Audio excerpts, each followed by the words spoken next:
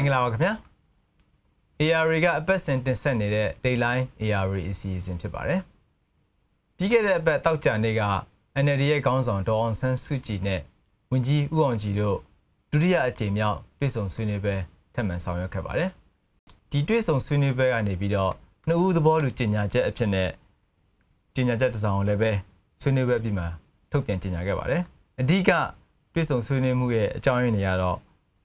နှစ်ဖက် ပူးပေါင်းဆောင်ရွက်မှုတွေကိုပုံမူပြီးတော့လှုပ်ဆောင်သွားဖို့နဲ့ရှေ့ဆက်ပြီးတော့ပြည်စုံဆွေးနွေးမှုတွေပြုလုပ်သွားဖို့ကိုပြောဆိုကြေညာခဲ့ပါတယ်ဒီကိစ္စနဲ့ပတ်သက်ပြီးတော့ကျွန်တော်နဲ့အတူ AR ရဲ့သတင်းတောက်တွေဖြစ်တဲ့ကိုခတ်ထန်နဲ့ကိုရီမိုးတို့ကဝင်ရောက်ဆွေးနွေးမှာဖြစ်ပါတယ်ကျွန်တော်ကတော့ AR magazine ရဲ့တာဝန်ခံ editor ကျော်စောမှုဖြစ်ပါတယ်ခင်ဗျာ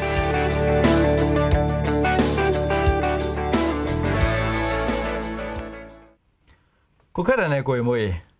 နှစ်ပတ်အတွင်းမှာဒီ street ဆောင်ဆွေးနွေးမှုကဒုတိယအကြိမ်လို့ပြောလို့ရတာပေါ့နော်ဆိုတော့ကျွန်တော်ထင်တယ်ဗမာပြည်သူတွေရောအပြည်ပြည်ဆိုင်ရာရောဒီတွေ့ဆုံဆွေးနွေးမှုတွေကဘလောက်ထိများ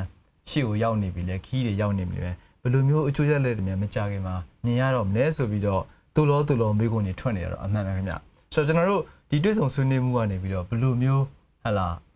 အာအဖြေတွေပေါ်လာနိုင်မလဲဆိုတော့ကျွန်တော်တို့အဲစဉ်းစားကြည့်ကြရင်ကောင်းမယ်လို့ထင်တယ်ဆိုတော့ကိုဝင်မို့ရပထမဆုံးပေါ့ဗျာ အာသူတို့ရဲ့အစိုးရရဲ့ထုတ်ပြန်ကြေညာချက်ပေါ့နော်ဒါကတော့ပြောမယ်ဆိုရင်တော့ဝန်ကြီးဦးအောင်ကြည်နဲ့ဒေါအောင်ဆန်းစုကြည်တွေ့ဆုံဆွေးနွေးပြီးပါနှစ်ဦးနှစ်ဖက်ကနေသဘောတူညီပြီးတော့အာထုတ်ပြန်ခဲ့တဲ့ကြေညာချက်ပေါ့နော်အဲ့ဒီကြေညာချက်ကိုဖတ်ကြည့်မယ်ဆိုရင်တော့ဟာလာတိတိကျကျဘာမှဖော်ပြထားတာမတွေ့ရဘူးတွေ့ဆုံဆွေးနွေးပွဲတွေဆက်လုပ်သွားမယ်ဆိုတာမျိုးတွေဖော်ပြထားတယ်နောက်ပြီးတော့မြန်မာနိုင်ငံဒီမိုကရေစီဆက်လက်တိုးတက်ထွန်းကားစေရေးအတွက်၎င်းစီးပွားရေးလူမှုရေးလုပ်ငန်းများ ပုံမဖွံ့ဖြိုးတိုးတက်လာစေအတွက်၎င်းပြည်သူ့ဘပူပေါင်းဆောင်ရွက်သွားမယ်ပေါ့နော်ဆိုတော့အထူးသဖြင့်ဒါမျိုးပူပေါင်းဆောင်ရွက်သွားမှတွေကိုပဲအကျန်းပြင်းပြောသွားတယ်ဆိုတော့ကိုယ်မို့တိတက်ပို့ပြီးတော့သူတို့နှစ်ယောက်ကဆွေးနွေးမှုမှာဘာတွေပါဝင်တယ်လို့သိရလဲဒီကျွန်တော်ရဲ့ခုနမျိုး NLD ကတချို့ NLD ကလူကြီးနောက်တစ်ခုလူကြီးနဲ့စကားပြောကြည့်တော့နောက်တစ်ခုကဒီတမနာအကြံပေးဒီဒီဦးနေစင်လက်တို့နောက်ဥကိုထိုင်တို့နဲ့စကားပြောပြီးတော့သူတို့ ဒီဒီအခုလိုဟာမျိုးဥအောင်ကြီးနဲ့ဆွေးနွေးရမတိုင်ခင်မှာတည်းရပေါ့ဒီခုနဇူလိုင်လ25ရက်နေ့မတိုင်မှာလေသူတို့ဆွေးနွေးမှုရှိလို့ဒါဥနေစင်လက်ပြောတယ်ဟုတ်ကဲ့ဒီခုနလိုမျိုးအမိုးဆွေးနွေးမှုရှိရှိဝင်ရနောက်တစ်ခုကဒီအစိုးရဘက်ကပြောဝင်ရပေါ့အစိုးရကြံပေးရပြောဝင်ရဆိုလို့ရှိရင်ဒါအရင်နဲ့မတူဘုံသဘောတူရတခုတော့မရပြီးတဲ့ပုံမျိုးပြောရရှိတယ်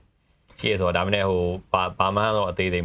မပြောရင်မဲ့နာမီဒေါ်နစုကြည်ရဲ့တိုင်းသားကိစ္စသတင်းထုတ်ပြန်တာဟာမျိုးတွေ နောက်တစ်ခုကဒီနောက်ဆုံးထုတ်ပြန်တဲ့ခုနလိုသူ NLD အတွေ့အကြုံအနေနဲ့မဟုတ်ဘဲနဲ့ဒီဒေါ်နစုကြည်အနေနဲ့သူ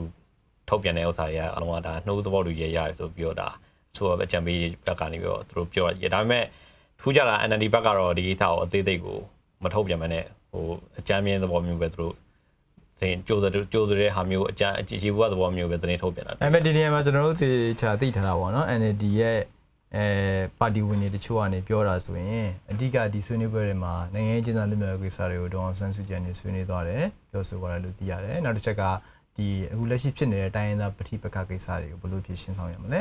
နောက်ဆုံးအချက်ကတော့ကျွန်တော်တို့သိတာ NLD ရဲ့တရားဝင်ရက်တီရေးကိစ္စပေါ့နော်ဆိုတော့ဒီသုံးချက်လုံးကအင်မတန်အရေးကြီးလို့အာပြောရမှာပေါ့နော်ဒါပေမဲ့အစိုးရဘက်ကဘယ်လောက်ထိပြန်ပြီးတော့တုံ့ပြန်လာလဲဆိုတော့ကျွန်တော်တို့သိချာမသိရဘူး ကိုခက်ထန်ရောဒီဆွေးနွေးမှုနဲ့ပတ်သက်ပြီးတော့တခြားသုံးသပ်မိတာတွေမှရှိမိလား ဟုတ်ကဲ့အဓိကအခုဒီသူတို့တွေးဆုံပွဲနဲ့ပတ်သက်ပြီးထုတ်ပြန်ချက်เนาะပြီးတော့ဒီမီဒီယာတွေကိုပြောကြချက်တွေကိုပြန်ပြီးခြုံငုံလိုက်ရင်ခုနကကိုကျော်စွာပြောသွားတဲ့၃ချက်ကိုပဲပြန်ပြီးတော့တွေးရတာပေါ့ ဟုတ်ကဲ့ ဒီပါတီရက်တည်မှုရဲ့တိုင်းရင်းသားအရေးရဲ့နိုင်ငံနိုင်ငံရေးအကျဉ်းသားကိစ္စပေါ့ပြီးတော့အဲ့ဒီထဲမှာသူတို့ပြောထားတာတခုရှိတယ်ပေါ့ဒါဟို အစိုးရနဲ့နှစ်ဦးနှစ်ဖက်ဒီသဘောတူပြီးတော့ရှေ့ဆက်မယ်ပေါ့အဲ့ဒီမှာနှစ်ဦးနှစ်ဖက်ဆိုတာဘာလို့ဆိုလို့တလဲဘာလို့ဆိုတော့ခုနကကိုယ်မိုးလဲပြောသွားတယ်ဒေါအောင်ဆန်းစုကြည်ကအခု NLD ပါတီရဲ့အထွေထွေတွင်းရေးမှုဆိုတဲ့နေရာမျိုးမဟုတ်ဘဲနဲ့သူကဒီတတိပုဂ္ဂလပုံစံမျိုးနဲ့ထွက်ပြီးတော့ပြောရတဲ့ကိစ္စတွေရှိတယ်ဒါပေမဲ့ဒီအခုတစ်ပတ်ဆွေးနွေးပွဲမှာတော့ဒါနှစ်ဦးနှစ်ဖက်ဆိုတာအစိုးရနဲ့ဒေါအောင်ဆန်းစုကြည်တူတယ်မဟုတ်ဘဲနဲ့ဒီမြို့သားဒီမိုကရေစီဖွဲ့ချုပ်ကို ကိုစားပြုလာတယ်ဆိုတဲ့အချက်တစ်ချက်ကိုဒီတစ်ခေါက်မှတတိထားမိတယ်ဟုတ်ကဲ့အဲ့ဒါတော့ကျွန်တော်ထင်တယ်အဲပို့ပြီးတော့ရှင်းလင်းသွားတာဩဂတ်လ15ရက်နေ့တနင်္လာနေ့မှာ NLD ပါတီကနေပြီးတော့ဒီ statement ဒီကြေညာချက်တစ်စောင်ထုတ်ခဲ့တယ်မလားဒီတွစ်ဆုံပွဲနဲ့ပတ်သက်လို့အဲ့ဒီတွစ်ဆုံပွဲနဲ့ပတ်သက်လို့ပြောတဲ့နေရာမှာအာမျိုးသားဒီမိုကရေစီအဖွဲ့ချုပ်ရဲ့အထွေထွေမှုတောင်ဆန်းစုကြည်ကနေပြီးတော့ဘိုလ်လုံးဆောင်ဖွဲ့ကိုရှင်းပြတယ်ဆိုတော့ဒီတွစ်ဆုံမှုနှစ်ခုလုံးနဲ့ပတ်သက်ပြီးတော့အမျိုးသမအမျိုးသားဒီမိုကရေစီအဖွဲ့ချုပ်ကကြိုးစိုးထောက်ခံကြောင်းဆိုပြီးကြေညာတယ်ဆိုတော့တော့ အာဒေါန်ဆန်းစုကြည်ကတော့တူဦးတဲ့အနေနဲ့တွေးတဲ့သဘောရှိတယ်ဒါပေမဲ့ဒါကိုပါတီကနေပြီးတော့အပြည့်အဝထောက်ခံထားတဲ့သဘောရှိတယ်နောက်ပြီးတွေးဆုံဆွေးနွေးမှုတွေကိုလည်းလက်ခံတဲ့သဘောရှိတယ်လေဒါပေမဲ့အဓိကမေးခွန်းထုတ်အောင်မှာဘာကြောင့်မလို့ဒီအချိန်မှာဥအောင်ကြည်ကနောက်ပြီးတော့အစိုးရပေါ့နော်အစိုးရကနေဘယ်လောက်ထိဒီတွေးဆုံဆွေးနွေးပွဲတွေကိုဟိုနှစ်ပတ်တစ်ခါအခုလုံနေရတော့နောက်ပြီးတော့အဓိကသူတို့အတီလင်းပြောထားတာနံပါတ်၄ချက်မှာသူတို့တွေးဆုံဆွေးနွေးမှုများဆက်လက်ပြုလုပ်သွားပါမည်တဲ့ဆိုတော့သူတို့ဘာလို့ကျင်တာတွေများရှိနေလဲ ဒါကိုကျွန်တော်တို့စဉ်းစားရမယ်ထင်တယ်ဟုတ်ကဲ့အဲ့စာကလက်လက်ရှိကနေပြီးတော့ဒီအစိုးရရဲ့ဟိုဒီကြုံတွေ့နေရတဲ့စာချမ်းမြေကျွန်တော်တို့သုံးသပ်မယ်ဆိုလို့ရှိရင်သူတို့ဒီခုနလိုမျိုးတိုင်းသားတွေနဲ့ရင်ဆိုင်နေတဲ့ပြပြခါရှိတယ်ဒါခုနလိုတိုက်ပွဲမှာဆိုလို့ရှိရင်ဒီအစိုးရဒီတက်ကဘက်ကနေပြီးတော့အကြဆုံးနေလေအရင်တက်ပို့ပြီးတော့ရင်အရင်တော့လောကရဲ့ဆန်စုနဲ့ကောင်တိုက်တဲ့အနေထားနဲ့မဟုတ်ပဲねပို့ပြီးတော့အကြဆုံးနေ များရှိတယ်တည်မှုဒီဒီကြားရရှိတယ်ဟုတ်ကဲ့နောက်တစ်ခုကအဲ့စာတိုင်းသားပြတ်သွားနောက်တစ်ခုကတော့ဒီခုနလိုဒေါ်နဆူဂျီအဲခုနဒေါ်နဆူဂျီထိုးသဖြင့်အတိုက်ခံအောင်ဒေါ်နဆူဂျီနဲ့ရင်ဆိုင်နေရသလိုစာရေးရှိတယ်အဲ့စာလည်းခုနလိုနိုင်ငံတကာမှာဒီအာဆီယံဥက္ကဋ္ဌဖြည့်အတွက်မှာနိုင်ငံတကာကနေ pressure အများကြီးပြီးဒေါ်ဒေါ်နဆူဂျီနဲ့တွေ့ဖို့နောက်ဒီဂျန်တဲ့တိုင်းသားဖွဲ့နေပါတွေ့ဖို့ဆိုပြီးတော့ဒီပါလီစည်းဝေးမှာဆိုလို့အဲ့လိုဖိအားပေးခံရရှိတယ်လीနောက်တစ်ချက်တော့ခုနလိုမျိုး သူတို့အစိုးရခုနအစိုးရတို့စစ်တပ်ဒီအုပ်ချုပ်သူတွေကြားမှာပေါ့အစိုးစုဒီခုနလိုနေပြီးတော့လူတွေကြားမှာပဲအတွင်းပဋိပက္ခဖြစ်နေဆိုပြီးသတင်းတွေလည်းထွက်နေလက်ရှိမှာသူတို့ကလက်ရှိဆိုတာအဲ့သုံးချက်ကိုရင်ဆိုင်နေရတော့ဆိုတော့ဟိုနှစ်ချက်ကိုမကင်မဲမဲဒေါ်နဆွီနဲ့တုတ်ဆွနေပဲပိုးလောက်လာတွေ့ရတယ်။တေချာတော့တရားမလို့ချင်အဖြစ်နိုင်တကာမှာတော့သူတို့ပို့ပြီးတော့အမှတ်ရမှာတော့တေချာတယ်အများစုသုံးသပ်နေတာတော့နိုင်ငံတကာပြီးတော့အာဆီယံမှာဟလာနိုင်ငံရဲ့တည်ငြိမ်မှုရှိတယ်ဆိုတော့သူတို့ပို့ပြဖို့လိုတယ်ဘာဖြစ်လို့လဲဆိုတော့အာဆီယံ ဥက္ကဋ္ဌအနေနဲ့ပဲ2024ခုမှာသူတို့အာယူချင်တာ哦ဆိုတဲ့အခါကျတော့ခုနပြောတဲ့ကိုဝေမိုးပြောတဲ့တိုင်းဒေသကိစ္စတွေကလည်းဟုတ်တယ်အဲနောက်လျှောက်ဖြစ်နေတဲ့အခါကျတော့ BB ဆိုင်ရာအာဖွဲ့စည်းတွေရော UN ကိုယ်တိုင်ရောဒါနဲ့ပတ်သက်ပြီးရက်တန်ဖို့ပြောနေတာရှိတယ်နောက်တစ်ချက်ကနောက်တစ်ချက်ကဒေါန်ဆန်းစုကြည်ကိုယ်တိုင်ကစပြီးတော့ဟလာခရီးတွေစထွက်နေပြီဟိုပထမဆုံးကတော့ဖျားဘူးခီးစဉ်ပေါ့နော်အခုဘကိုးခီးစဉ်ဆိုလဲသူကဒါနိုင်ငံခီးစဉ်လို့စပြောပြီဆိုတော့အဲ့မှာလဲလူတွေအများကြီးကြိုဆိုတော့ကျွန်တော်တို့တွေ့နေရတယ်ဆိုတဲ့ခါကျတော့ဒါကိုလည်းနည်းနည်းလေး သူတို့အနေနဲ့စပြီးစိုးရိမ်လာပြီလို့ကျွန်တော်ထင်တယ်ဒါဒါကိုဘယ်လိုမျိုးဟိုပပနည်းနည်းနဲ့ကင်တွယ်မလဲဆိုတော့စဉ်းစားနေပုံရတယ်ဒီအတွက်ကိုကျွန်တော်ထင်တယ်ဒီစစ်စုံဆွေးနွေးဆိုတာတွေကိုလုပ်နေရတယ်အဲ့ဒီအတွက်တစ်ဖက်ကမျောလင်းချက်ဆိုတာတွေကိုဖြစ်လာမှာဟုတ်ဟုတ်တယ်ဟုတ်ကဲ့ကျွန်တော်မြင်တာကတော့အခုဒါပထမတစ်ချိန်တွေးဆုံမှုဖိတ်ကြားတော့အခုတစ်ချိန်တွေးဆုံမှုဖိတ်ကြားတာရောမှာဒီတရက်နှစ်ရက်ပဲကြိုပြောပြီးတော့သူကချက်ချင်းဟိုဒေါန်ဆန်းစုကြည်ကိုဖိတ်တာကိုဝင်းကြီးဦးအောင်ကြီးက အခုဆိုရင်လည်းဒါဒေါန်ဆန်းစုကြည်ကဘကိုးခီးစဉ်တွားမယ်လို့ထုတ်ပြောပြီးအဲ့ဒီမတိုင်ခင်လေးကိုတွေ့ဖို့သူကဖိတ်ဖိတ်ကြားလိုက်တာဟုတ်ခုနပြောသလိုဒါဒါအစိုးရအနေနဲ့ဒေါန်ဆန်းစုကြည်ရဲ့ဒါပထမဆုံးနိုင်ငံရေးခီးစဉ်ပေါ့စိုးရိမ်မှုရှိကောင်းရှိနိုင်တယ်ဒါပေမဲ့ကျွန်တော်တစ်ဖက်မှာလည်းဒါခီးစဉ်မှာကြည်လိုက်ရင်အာနာပိုင်ဒီဘက်ကလည်းလိုက်ပြီးကူညီပေးတာလုံခြုံရေးယူပေးတာမျိုးတွေရှိတယ်ဆိုတော့ဒါသူတို့ဘက်ကလည်းနည်းနည်းလျှော့ထားတယ်ဆိုတဲ့သဘောရှိတယ်ဆိုတော့သူတို့ကလည်းဒါသူတို့လိုချင်တဲ့ဟာတစ်ခုရှိတဲ့အတွက်သူတို့ဘက်က နည်းနည်းလျှော့ပေးတယ်လို့မြင်တယ်ဟုတ်ကဲ့ဆိုတော့ဥမာခုနပြောသလိုပေါ့2014အာဆီယံလဲကြောက်ဥက္ကဋ္ဌယာရူယာရီအတွက်ကိုထောက်ခံမှုနိုင်ငံတကာရဲ့ဒီ pressure ကျသွားတာကိုသူတို့လိုချင်တာဟုတ်ဆိုတော့အခုကျွန်တော်တို့ကြည်တာတော့ဒါဒီဒီလိုမျိုးအခင်းကျင်းထဲမှာဒေါန်ဆန်းစုကြည်ကဘယ်လိုကစားမလဲအဲ့အဲ့ဒါစိတ်ဝင်စားစရာအကောင်းဆုံးပဲထင်တယ်ကျွန်တော်ထင်တာ။ဘာဖြစ်လို့လဲဆိုတော့ဟိုတောက်လျှောက်လည်းပဲတောက်လျှောက်ဆိုတာလေဟို 2000မတိုင်ခင်ကာလရော2000အစောပိုင်းကာလမှာဒေါန်ဆန်းစုကြည်နဲ့အဲ့တုန်းကတော့စစ်အစိုးရပါဗျာ။တွေ့ဆုံဆွေးနွေးမှုတွေလုပ်လုပ်ဆောင်ခဲ့တာတွေရှိတာ哦။ဘာမှအတိုင်းပဲတည်တည်ချာချာတော့မရခဲ့ဘူးမအောင်မြင်ခဲ့ဘူး။အဲ့2000အစောပိုင်းကာလဆိုရင် NLD ကအကျဉ်းသားတရားကျော်တော့လုပ်ခဲ့တာတွေရှိခဲ့ပူတယ်ပေါ့နော်။အခုဆိုရင်ဥရိတ်တရားမှမလုပ်သေးဘူး။ဒါပေမဲ့ခုန၃ချက်ကိုကျွန်တော်တို့သူတို့ဆွေးနွေးတယ်လို့ကျွန်တော်တို့သိထားရတဲ့အချက်၃ချက်ကိုကျွန်တော်တို့စဉ်းစားကြည့်မယ်ဆိုနိုင်ငံချင်းသားလူမျိုးရဲ့ကိစ္စပြီးတော့အာ တိုင်းသားပဋိပက္ခကိစ္စဟလာနောက်ဆုံးတစ်ချက်ကတော့ NLD ရဲ့တရားဝင်ရက်တည်ရဲ့ကိစ္စပေါ့အခုဆိုရင်ဒီပြိုင်နဲ့သူနဲ့ဒေါန်ဆန်းစုနဲ့ဒီတွေ့ဆုံဆွေးနွေးပွဲလုပ်နေတဲ့အချိန်မှာပဲနေပြည်တော်မှာ